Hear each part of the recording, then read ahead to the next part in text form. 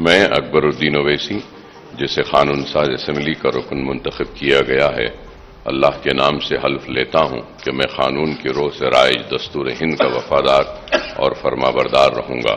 तेलंगाना की कांग्रेस सरकार ने ऑल इंडिया मजलिस ए इतिहादुल मुसलमीन के विधायक और असुद्दीन ओवैसी के भाई अकबर उद्दीन ओवैसी को विधानसभा का प्रोटेम स्पीकर नियुक्त किया है। प्रोटेम स्पीकर आमतौर पर सदन के सबसे वरिष्ठ विधायक को नियुक्त किया जाता है। उनका काम नए विधायकों को शपथ दिलाना और विधानसभा स्पीकर का चुनाव करवाना होता है। वैसे तो पूर्व मुख्यमंत्री के सबसे वरिष्ठ विधायक है, मगर वह अस्पताल में भर्ती है। तुम्बाला नागेश्वर राव, उत्तम कुमार रेड्डी, पोचराम श्रीनिवास रेड्डी और अकबरुद्दीन ओवैसी छह बार विधायक बने हैं। राव और रेड्डी दोनों कैबिनेट मंत्री बने हैं।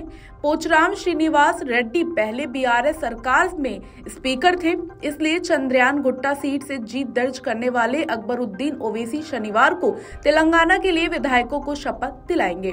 ओवैसी की नियुक्ति पर बीजेपी विधायक टी राजा सिंह ने तीखी प्रतिक्रिया दी है। उन्होंने कहा कि जब तक ज़िंदा है, वो ओवैसी के सामने शपथ नहीं लेंगे।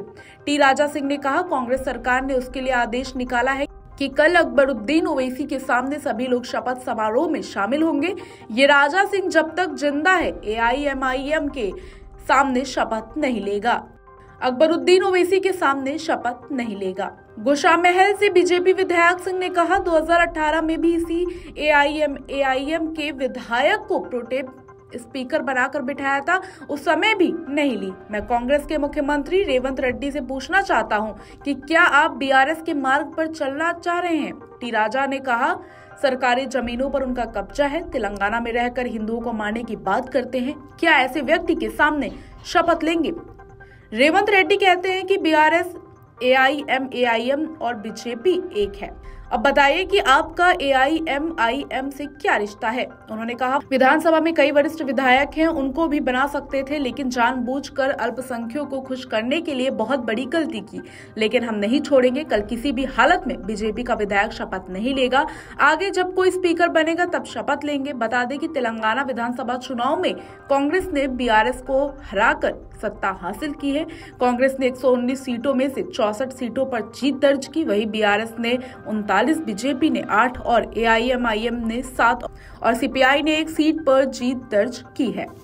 Video desk Amar Ujala dot com.